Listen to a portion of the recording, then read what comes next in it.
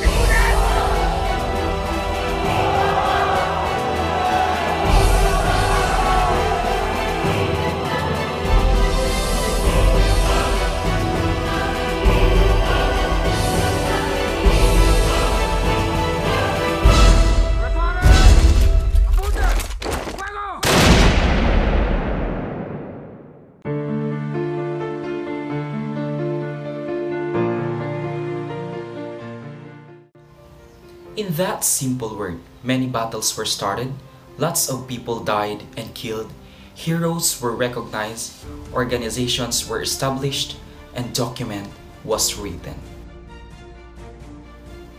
Before we dive into discussion, let me introduce to you my topic. At mangyaring pagkatapos panoorin ang araling ito, inaasahan na masagot ang mga sumusunod na tanong. Ano, paano, sino, at kailan nabuo ang katipunan? Ano ang kartilya? Paano ito nabuo? Sino ang sumulat nito? Para saan ito? Ang layunin nito? At kung ano ang kahalagahan nito sa naganap sa kasaysayan ng Pilipinas? At bago ko nga pala simulan na balikan ang isa sa pinakaimportanteng pangyayari sa ating kasaysayan, ay nais kong ibahagi sa inyo ang isa sa mga kasabihang pumukaw sa aking atensyon na nagmula kay Ginoong Emilio Jacinto. Ang buhay na hindi ginugugol sa isang malaki at banal na kadahilanan ay kahoy o puno na walang lilim kundi man damong makamandag. What is katipunan? The kataas-taasang kagalang-galangang katipunan ng mga anak ng bayan, in English, Supreme and Venerable Society of the Children of the Nation, or in Spanish, Suprema y Venerable Asociación de los Hijos del Pueblo, also known as Katipunan or KKK, was a Philippine revolutionary society founded by anti-Spanish colonialism Filipinos. It was also founded in Manila in 1892. The Katipunan was a secret organization.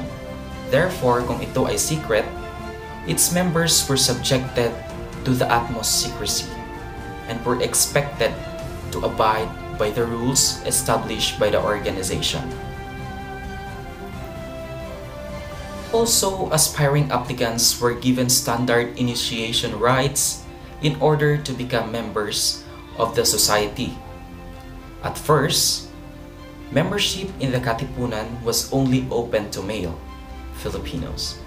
Later, women were also accepted into the society. It was discovered in 1896 and this led to the outbreak of the Philippine Revolution. And did you know class that it was only Katipunan that envisioned a united Filipino nation that would revolt against the Spaniards? Although maraming mas mga nauna kesa sa KKK, halimbawa na rito ay yung pakikidigma ni Diego Silang na kung saan pinagtatanggol niya ang kanyang mga nasakupan. Pangalawa pa rito, bago nangyari ang katipunan or na-establish ay ang The Propagandista na pinangungunahan ni Marcelo H. Del Pilar Graciano Lopez Haina at ni Dr. Jose Rizal. Ang primary goal ng Katipunan was to gain independence from Spanish through a revolution. Tandaan niyo yun, revolution. It was also happen around the teachings of Dr. Jose Rizal na kung saan hindi lang pakikidigma ang kanilang pinapalaganap upang makamit ang kalayaan. They also want to promote education, good values, and good qualities for the Filipino people. ang pagtatatag ng katipunan ay hindi lamang isang simpleng dahilan o sumulpot lamang. Ang pagtatatag ng katipunan ay mayroon silang spesipikong dahilan na kung saan ito ay nahahati sa tatlo. Una ay ang civic, pangalawa ay ang political, pangatlo ay ang moral. Civic was based on the principle of the self-help and the defense of the weak and the poor. Dito na pag-uusapan sa civic na kung saan ipinagtatanggol natin ang ating sarili dahil dati di lugmok sa pang-aabuso ang ating mga ninuno. Bilang isang may kaalaman na citizen, dapat ay hindi tayo hahayaang abusuhin lamang ng iba. Uh, specifically ng mga Spaniards. At dito rin, dapat alam ang karapatang pantao at kayang ipaglaban ang sarili mula sa mga pang-aapi. Doon yun sa unang aim na kung saan pinag-uusapan ang civic. Pangalawa naman ay sa political. Political was the separation of the Philippines from the Spain to secure the independence of the colony. Ano ang pinag-uusapan dito sa political? Um, halimbawa, ito ay totoong nangyari. Tayo ang may-ari ng bansa, ngunit parang tayo ang dayuhan kung saan natanggalan tayo ng karapatan. Tayo ay humiwalay at nang sa ganon ay makamit ang kalayaan at may karapatang pumili ng karapat-dapat na mamuno sa ating bansa. Yun ang tinatalakay sa politikal na kung saan layunin ito ng mga ng mga KKK or ng mga katipunero. Okay? um, sa moral naman, ang pinag-usapan dito ay it was focused on the teaching of good manners, hygiene, and good moral character. Gaya nga ng sabi ko kanina, na maliban sa pakikidigma ay gusto rin nila na magkaroon tayo ng mabuting asal. Okay, layunin din nitong turuan ng magagandang asal ang nasasakupan. Um, nagkakaroon ng responsable sa sarili at may respeto sa kapwa na kung saan itong tatlong aim na ito ng mga katipunero ay naipalaganap maliban sa pakikidigma ay gusto nilang gusto nilang mangyari ang tatlong iyon. At nasabi ko nga rin pala kanina na ang KKK was founded by an anti-Spanish colonialism Filipinos and now let us recognize the important names during the happenings of KKK from its day of establishment up to revolution started. We have Deodato Arellano, una, pangalawa Andres Bonifacio, pangatlo Valentin Diaz, pang-apat Ladislao Diwa, panglima si Jose Dizon at pang-anim si Teodoro Plata. Kung makikita ninyo ang kanilang larawan ay nasa taas ko at nasa gilid ko. Sila ang mga founder ng katipunan na kung saan meron silang layunin.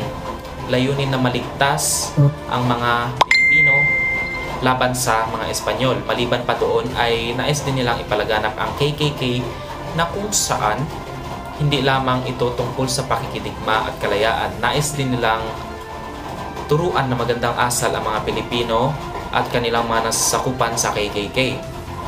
Ilan lamang yon sa mga nabanggit ko kanina. In the conduct of their struggle, Katipunan created a complex structure and a defined value system that would guide the organization as a collective aspiring for a single goal. One of the most important Katipunan document was the Kartilya ng Katipunan. As you can see on my right side is the first page of the Kartilya where it has a note sa pangangailangan na ang lahat na nag-iibig pumasok sa katipunang ito ay magkakaroon ng lubos na pananalig at kaisipan sa mga layong tinutungo at mga kaaralang pinaiiral. Minarapat na ipakilala sa kanila ang mga bagay na ito at nang bukas makalaway huwag silang magsisi at tuparing maluwag sa kalooban ang kanilang mga tutungkulin. Ang kalagayang pinag-uusig ng katipunang ito ay lubos na dakila at mahalaga. Kapag isahin ang loob at kaisipan ng lahat ng Tagalog sa pamamagitan ng isang mahigpit na panunumpa upang sa pagkakaisang ito'y magkalakas na iwasak ang masinsing tabing na nakabubulag sa kaisipan at matuklasan ang tunay na landas ng katwiran at kaliwanagan. Ano nga ba ang kartilya ng katipunan? Original title was Mga Aral ng Katipunan ng Mga Anak ng Bayan. Ang kartilya ng katipunan was a small pamphlet guidebook for the new members upon applying an organization which laid out of the group rules and principles was authored by Emilio Jacinto. In 1896, there is what we call Duties of the Sons of the People. It was written by Andres Bonifacio, not strictly followed by the members of the organization. This decalogue embodied what Bonifacio's beliefs. Bonifacio would then later adopt Jacinto's Cartilla ng Katipunan as the official teaching of the Katipunan. It was Andres Bonifacio who first formulated a code of conduct and to whom the Decalogo ng Katipunan was attributed, but it was not published. Instead, it was said that upon reading the Cartilla drafted by Jacinto, Bonifacio decided that it was superior to his Decalogo and adopted it as the official primer of the Katipunan. Bonifacio recognized the value in the intellect of Jacinto. And now let us talk the major factors that influenced Emilio Jacinto in writing the document Cartilla ng Katipunan. Number one, his eagerness to help the Filipino achieve the independence from Spain. Kasi nga ayaw ng mga bayani natin na tayo ay parang mga ibong nakakulong, kung saan di natin maipaglaban ang ating mga karapatan bilang tao. Number two, wanted to set out values. Gusto rin ni Emilio na maliban sa pakikidigma ay taglayin din ng isang Filipino ang isang ugali kung saan magkakaroon ng pagkakasundo ang bawat isa mula sa pamilya hanggang sa kapwa. Pangatlo, to express his vision for an equitable and morally sound Filipino country. Isa to sa mga nakamit natin hanggang ngayon kung saan ugali ng Pilipino ang pagiging sobrang mabait, kung saan naturingan tayo hospitable kasi nga ay nakuha pala ito natin sa ating mga ninuno. Ngayon naman ay dumako tayo sa kung sino ang sumulat ng Cartilla. Cartilla was authored by Emilio Jacinto and now let us discover the history of him. Emilio Jacinto was born on December 15, 1875 in Tondo, Manila. He has a pen name Pinky Ann, Dimasilaw, and Ka Ilyong. He was also a Filipino general during the Philippine Revolution. He also attained highest ranking officers in the Philippine Revolution. Siya ay isang law student sa Universidad de Santo Tomas. Noong siya ay nag-join sa KKK, siya ay 19 years old pa lamang. Emilio Jacinto then became the chief theoretician and advisor of Bonifacio and later earned for him the title Brains of the Katipunan or the Utak ng Katipunan in Tagalog. Joining the Katipunan in 1894, he was the youngest member and nicknamed, according to historian Dr. Isagani Armedina noong 1992, Emilyong bata siya para lang ma-distinguish na pin- may pinagkaiba sila ni Emilio Aguinaldo at Emilyong matanda. He was also became the secretary of the organization and took charge of the short-lived printing press of the Katipunan. In 1897, 22 years old, Emilio Jacinto appointed by Andres Bonifacio as a commander of the Katipunan in northern Luzon. He was also known as the brains of the Katipunan, nasabi ko kanina, and Jacinto contracted malaria and died in Magdalena, Laguna at the age of 23 on April 16, 1899. And now, let us dig deeper as we will be discussing the content of the Kartilya ng Katipunan.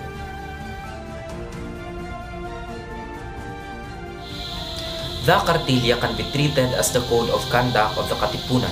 It contains 14 rules that instruct the way of the Katipuneros should behave and the specific values should he uphold. Number 1. The life that is not consecrated to a lofty and reasonable purpose is a tree without a shade, if not a poisonous weed. Kung sa Tagalog, ang kabuhayang hindi ginugugol sa isang malaki at banal na kadahilanan ay kahoy na walang lilim, kundi damong makamandag. So ano ang pinag-uusapan dito sa unang rules ng kartilya?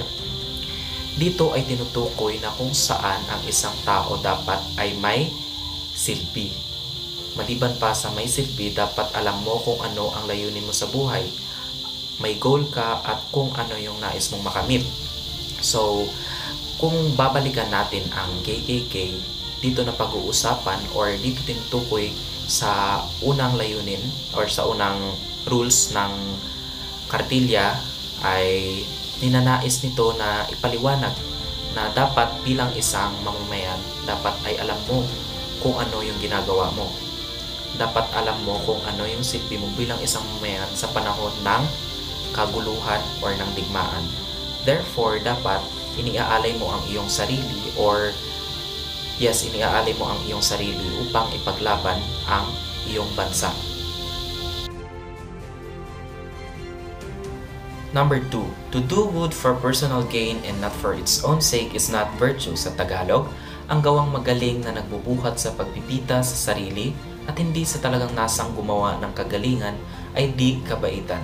Okay? The second rule is all about doing the right thing. A deed carried out for the sake of fame is not worthy of praise. So, pinag-usapan dito sa ikalawang rules na dapat ikaw ay gumawa ng mabuti sa iyong kapwa na kahit walang nakakakita or halimbawa um, ikaw bilang isang tao ay gumagawa ka lang ng mabuti kasi nga gusto mong magpasikat or kasi may nakakakita upang ikaw ay may recognize. Hindi yun ganun. Dito sa pangalawa, tinutukoy dito na dapat bilang isang katipunero, dapat ikaw ay gumawa ng mabuti ng kahit walang nakakakita at kahit hindi na ma-recognize pa ng ibang tao kasi nga parang nag-initiate ka na gawin yun, parang kusang loob mo na ginawa. Yun yung ipinapaliwanag sa ikalawang rules. Number 3. It is rational to be charitable and love one's fellow creature and to adjust one's conduct, acts, and words to what is in itself reasonable. Sa Tagalog, ang tunay na kabanalan ay ang pagkakawang gawa ang pag-ibig sa kapwa at ang isukat ang bawat kilos, gawat pangungusap sa talagang katwiran. Okay. The third tenet shows what kindness really means. True act of kindness for a katipunero is in the love and service he rendered to other people and not the other way around. Number 4. Whether our skin be black or white, we are all born equal. Superiority in knowledge, wealth, and beauty are to be understood but not superiority by nature. Sa Tagalog, maitim man at maputi ang kulay ng balat, lahat ng tao ay magkakapantay. Mangyaring ang isa'y higtan sa dunong, sa yaman, sa ganda, ngunit di mahihigtan sa pagkatao. The fourth tenet highlights equality Every Katipuneros are treated equally no matter what race or educational background he has. So, ang pinag-uusapan dito sa ikaapat na rule ng kartilya ng Katipunan na kahit anumang lahi ka or anumang uri ka ng tao, hindi dapat hindi dapat mas mataas yung tingin sa'yo dapat ay pantay-pantay ang tingin sa bawat isa kapag ikaw ay nasa loob na ng organisasyon. Ibig sabihin, dito pa lang sa loob ng organisasyon, parang may rule na sila na ganito. Ibig sabihin, mas maganda ito kapag na ipalaganap na sa buong Filipino. At kapag ito ay naipalaganap na, mangyaring ito ay ito din ay ma ipaglaban nila laban sa mga Espanyol. Number 5. The honorable man prefers honor to personal gain, the scoundrel gain to honor. Sa Tagalog, ang may mataas na kalooban, inuuna ang puri sa pagpipita sa sarili. Ang may hamak na kalooban, inuuna ang pagpipita sa sarili sa puri. The fifth shows what honor should mean for a katipunero. A true katipunero values honor more than his personal interest.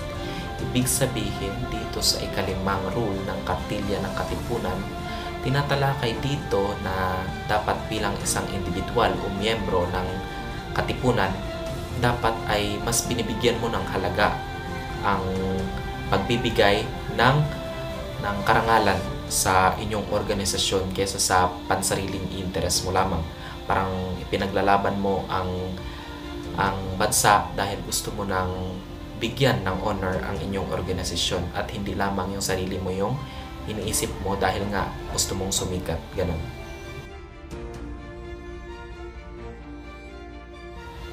Number 6. To the honorable man, his word is sacred. Sa taong may hiya, salita'y panunumpa. Okay. The sixth tenet is all about being a man of word. A katipunero who has a sense of shame must be a man of his word. So ano ang ibig sabihin dito sa pang-anim na rule ng kartilya ng katipunan? Dito tinutukoy na kung saan dapat kapag nagsalita ka ay pinaninindigan mo. Kasi seryosong usapin na ito eh. Tungkol na ito sa pagtatanggol ng bansa na kung saan may mga buhay na madadamay. Ibig sabihin kapag ikaw ay nangako or nagsalita, dapat ito ay iyong pinaninindigan.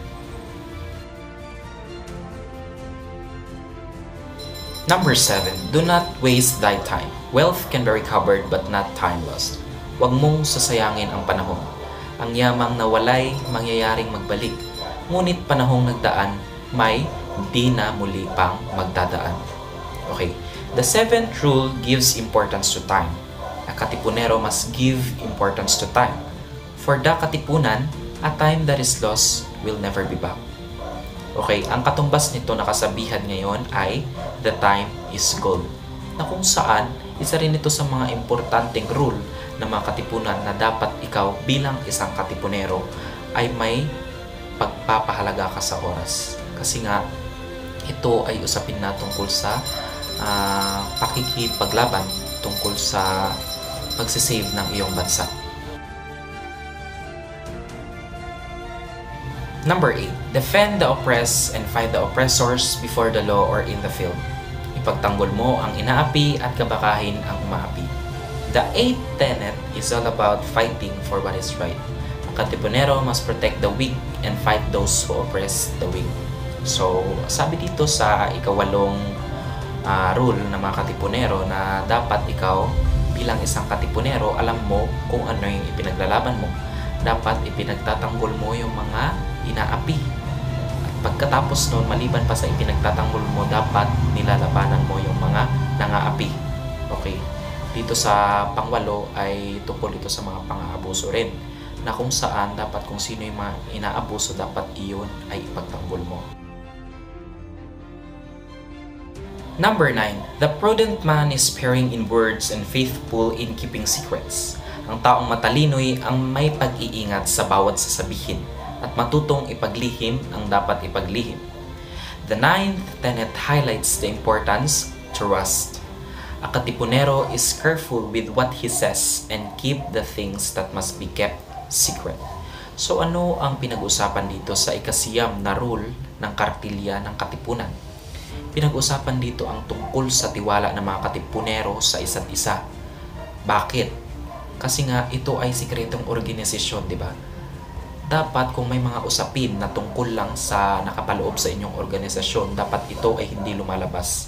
Kasi nga tungkol na ito sa buhay. Kasi nga alam naman natin dati na sobrang higpit ng mga Espanyol na may konti lang silang marinig, ibang klase yung pagpaparusa nila or worst ay pinapatay pa nila yung mga tao, di ba? Lalo na kapag alam nilang uh, kalaban nila yon. Number 10. On the thorny path of life, man is the guide of woman and the children. And if the guide leads to the precipice, those whom he guides will also go there. Sa daang matinik ng kabuhayan, lalaki ay siyang patnugot ng asawa at mga anak. Kung ang umaakay ay tungo sa sama, ang patutunguhan din ng iaakay ay kasamaan din. Okay, the 10th principle is all about being able to lead a family. Katipunero must lead his family to the right path. If the leader consumed by evil, so does his followers. So ano ang ibig sabihin dito? Uh, sa ikasampung uh, rule ng kartilya ng katipunan, uh, pinag-uusapan dito na dapat ikaw bilang isang katipunero ay kaya mong pamahalaan ng maayos ang iyong pamilya. Parang kaya mo silang uh, kaya mo silang bigyan ng magandang aral patungo sa mas magandang daan. Kasi nga ikaw bilang isang uh, ama or leader ng tahanan, dapat uh, alam mo na mabuti yung ginagawa mo. So kapag mabuti ang ginagawa mo kasi nga yung followers mo or yung mga uh, sumusunod sa iyo ay gagayahin ka din bilang uh, bale ikaw ay isang role model. Ganun. Number 11. Thou must not look upon woman as a mere plaything, but as a faithful companion who will share with thee the penalties of life. Her physical weakness will increase thy interest in her, and she will remind thee of the mother who bore thee and reared thee. Ang babae ay huwag mong tingnang isang bagay na libangan lamang, kundi isang katuwang at karamay sa mga kahirapan nitong kabuhayan. Gamitan mo ng buong pagpipitagan ang kaniyang kahinaan at alalahanin ang inang pinagbuhat at nag-iwi sa iyong kasanggulan. Okay, the 11th principle is all about women. A katipunero must give importance to a woman. He must not see her as an object, nor a pastime. That whenever a katipunero sees a woman, he will remember his mother who nurtured him. Okay, dito sa ikalabing isa uh, ng prinsipyo ng kartilya ng katipunan, dapat may respeto ka sa mga kababaihan. Hindi mo sila tinitingnan bilang isang laruan lamang or hindi mo sila tinitingnan bilang isang uh, pampalipas oras or uh, libangan Yes, hindi mo sila tinitingnan bilang ganun. Um, sa bawat uh, sa bawat oras na nakikita. Number 12, what thou dost not desire done unto thy wife, children, brothers, and sisters, that do not unto the wife, children, brothers, and sisters of thy neighbor. Ang di mo ibig na gawin sa asawa mo, anak at kapatid ay huwag mong gagawin sa asawa anak at kapatid ng iba. Okay, the 12th principle gives importance to every actions that one has to make.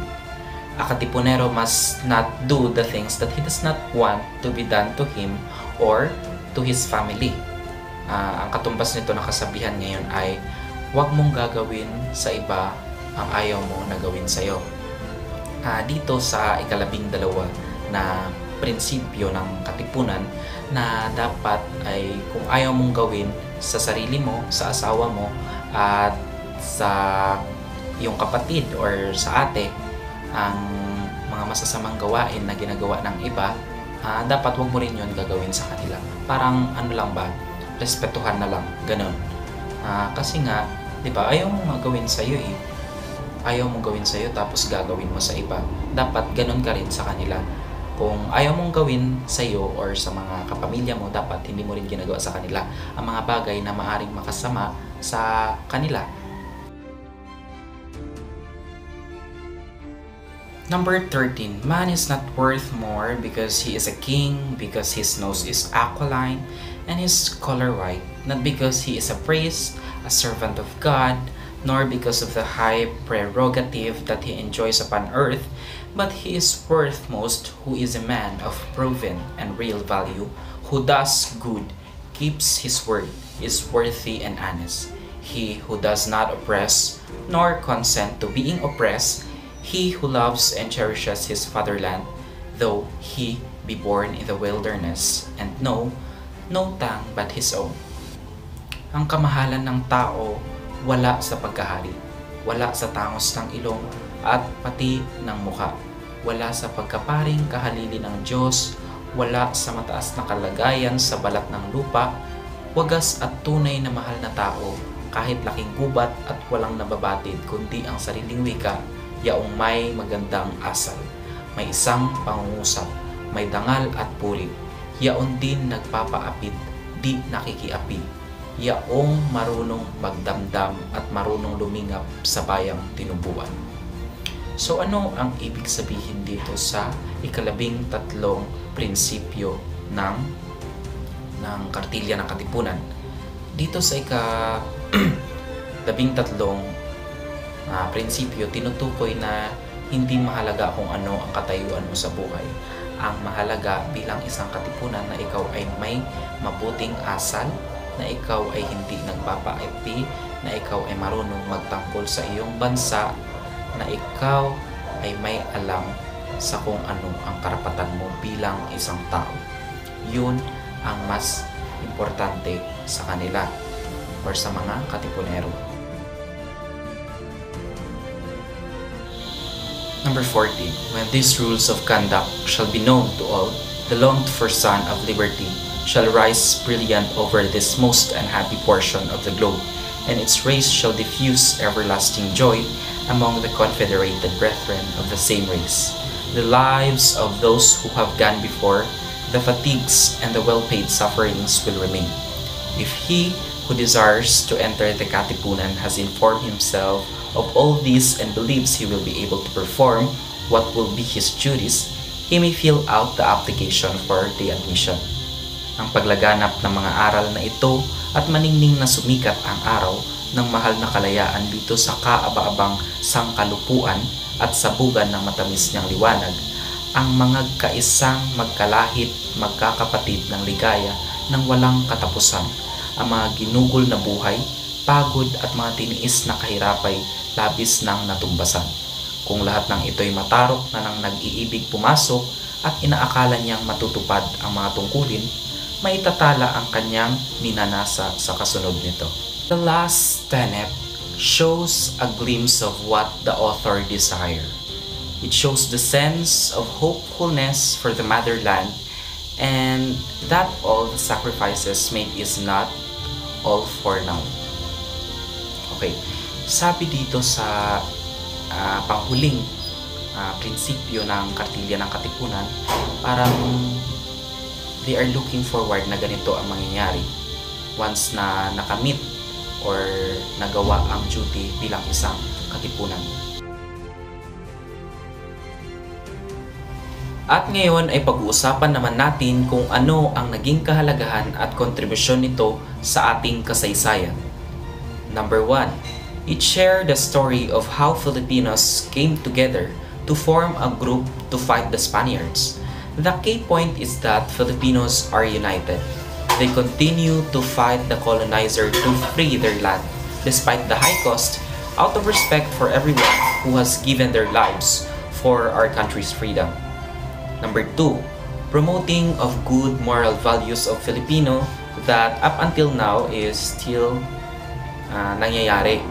Number three, this indicates that Filipinos of that era were intellectual revolutionaries who fought for morally righteous and admirable service. Without them, we wouldn't be able to inherit the bravery and courage of real Filipinos. As for my reflections, the 14 lessons that serve as the Katipuneros Manual for Moral and Ethical Behavior are discussed in the Cartilla. It serves as a sort of code of conduct that outlines what it means to speak and act like a true Filipino. I think that this Cartilla ng Katipunan illuminates the way for every Filipino to lead a meaningful life. Each lesson is distinctive in that it addresses many facets of the learner's life. It is appropriate to have a better grasp or explanation of its contents despite the fact that many of us may have varied explanations and understanding about it. The first rule of conduct, which states a katipunero who does not have a purpose in life is a meaningless life. It was captured the Filipino heart in me, since it defines what life is. Everyone is given life and it should be valued by giving it purpose and by choosing objectives and working toward them no matter how difficult they may be. On the other side, a set of guidelines known as the Kartilya ng Katipunan lays out the way for each and every one of us to live our lives to the fullest while upholding moral standards. This Kartilya ng Katipunan, in my opinion, was created to alter people's perceptions of Filipinos' unacceptable behavior. Katipunan was more than just a group fighting for Filipino independence. They build on the intellectual and political basis laid by men and women who gave their lives in the name of their love for the nation and its citizens. This code of conduct was created to educate individuals on what they are entitled to know in order to improve their lives, just like Rizal did when he challenged Filipinos to think critically and with complete comprehension.